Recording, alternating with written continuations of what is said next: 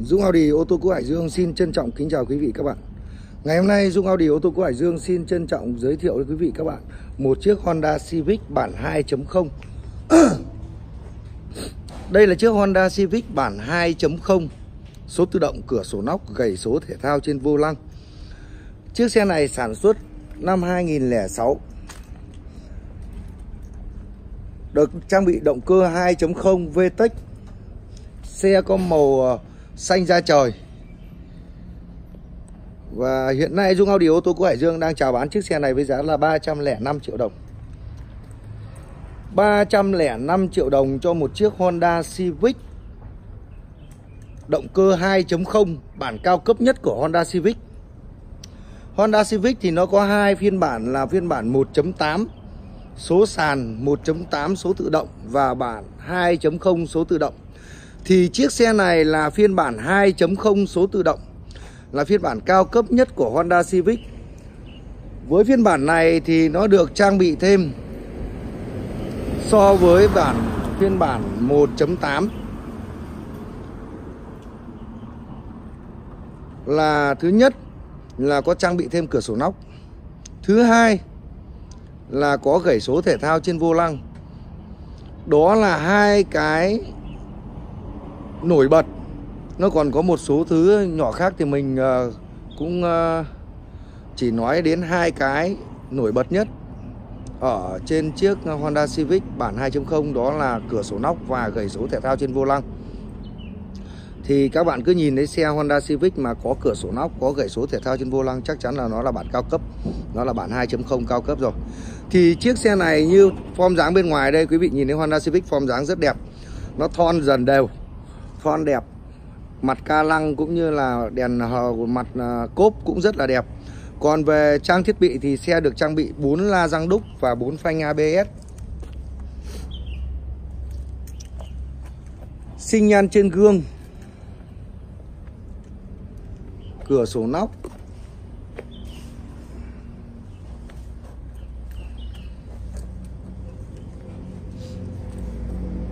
Mặt ca lăng đây cũng rất là đẹp cái đầu xe nó thon, dọn, hình khí động học.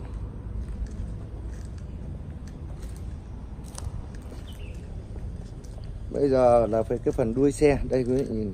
Cái đuôi xe thì à, từ năm 2009 trở đi, người ta gọi là form 209 thì cái đèn cái đèn hậu này nó sẽ, cũng vẫn cái hình viền như này thôi, nhưng mà cái mặt ở bên trong này mặt đèn hậu này nó sẽ có cái hình vát, lục giác, bát giác. Gọi là, nó gọi là đèn à, đèn lục giác. Là nó lên form là nó 209 nó chỉ khác mỗi cái đèn thôi. Đấy. Còn chiếc xe này thì 206 về nội thất bên trong, xe được trang bị gương kính chỉnh điện, cụp điện, gương kính chỉnh điện, cụp điện tự động. Vô lăng tích hợp bàn phím. Vô lăng tích hợp bàn phím đây và gảy số thể thao trên vô lăng. Đây là nút gảy số thể thao trên vô lăng. Lên về, lên số và về số. Bán tự động bằng cách gảy nút này. Mặc dù đang chạy hiển chạy ở cái chế độ là số tự động, nhưng bạn có thể bấm cái nút này để về số, lên số. Nếu như mà cái khu vực đường dốc hoặc là mình cần đi cái chế độ thể thao, sport như là màn hình camera lùi. Điều hòa tự động.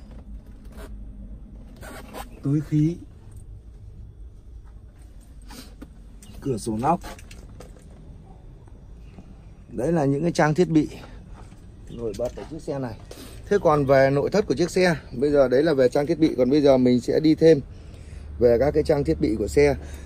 À, Thì các bạn nhìn thấy đây Xe mặt tablo lô tắp ly rất là đẹp Đúng không ạ? Cái chỗ này nó hơi ố một chút. Chỗ này nó hơi ố một chút Bởi vì trước đây ấy, Là chủ cũ người ta dán một cái Camera hành trình ở đây. Người ta dán một cái camera hành trình, Một cái màn hình của camera hành trình nằm ở đây. Thì bây giờ khi họ bán xe thì họ đã gỡ lại rồi, cho nên là chỗ này nó hơi ố một chút. Quý vị để có thể về gắn một cái món đồ chơi lên đây cũng được, hoặc là mình lại gắn một cái camera hành trình ở trên đây. Thế còn về mặt táp ly còn rất là đẹp. Quý vị lưu thấy không ạ? Táp ly còn rất đẹp luôn. Đây tắp ly còn rất đẹp. Tắp lô cũng đẹp. Ghế da thì về mặt ghế da thì đặc trưng của Honda Civic và các dòng Honda khác nhất là Honda Civic thì à, Honda Civic Honda CRV cái thằng Honda nó cái ghế da của nó nó sẽ không được bóng đẹp như các loại xe khác.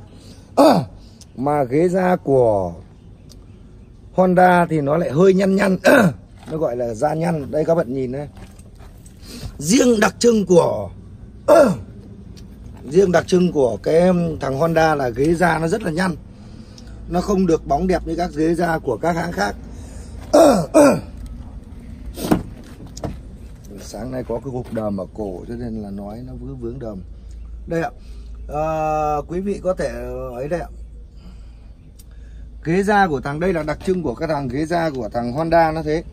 Chứ uh, ghế da như này là rất là đẹp rồi. Còn thằng Honda ghế da con nào nó cũng nhăn nhăn thế cả. Đây trần nỉ còn rất đẹp các bạn nhé. Trần nỉ thì cực đẹp luôn. Trần nỉ nguyên bản cực đẹp luôn. Sạch sẽ. Cửa nóc các thứ đầy đủ. Bây giờ quý vị hãy cùng với mình đi kiểm tra về phần à,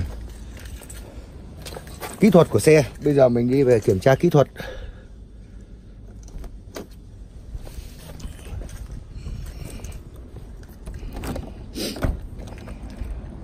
Về kỹ thuật của xe thì đầu tiên, các bạn cùng với Dung Audi ờ, kiểm tra về phần chỉ, keo chỉ của xe.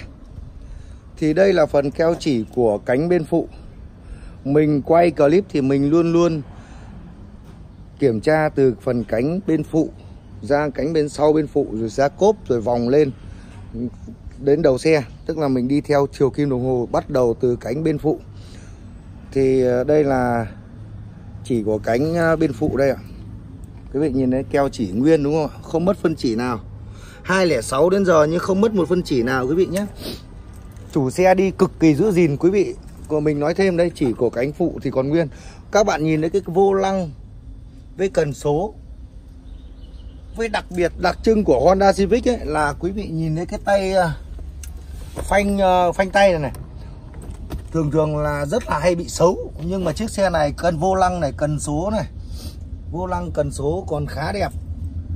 À, rồi là tay nắm ờ, phanh uh, phanh tay cũng còn rất đẹp. Chủ xe đi rất là giữ gìn nhé quý vị nhé. Chiếc xe này chủ xe đi cực kỳ giữ gìn.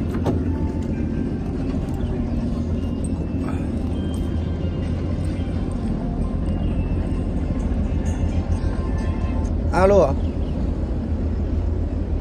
Alo? Ơ ơ.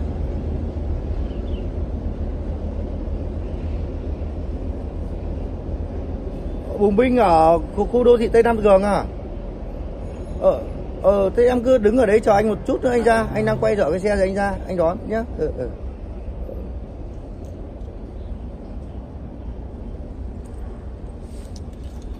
Đây nhá, còn đây là chỉ cánh sau cái chỉ cánh sau ờ, bên phụ đây ạ. Còn nguyên nhé quý vị nhé. kể chỉ cánh sau bên ngục phụ cũng còn nguyên luôn. Bây giờ đến phần cốp đít đây ạ. Thứ nhất là đinh tán ở hai bên máng nước còn nguyên nhé, máng nước còn nguyên. Máng nước còn rồi à,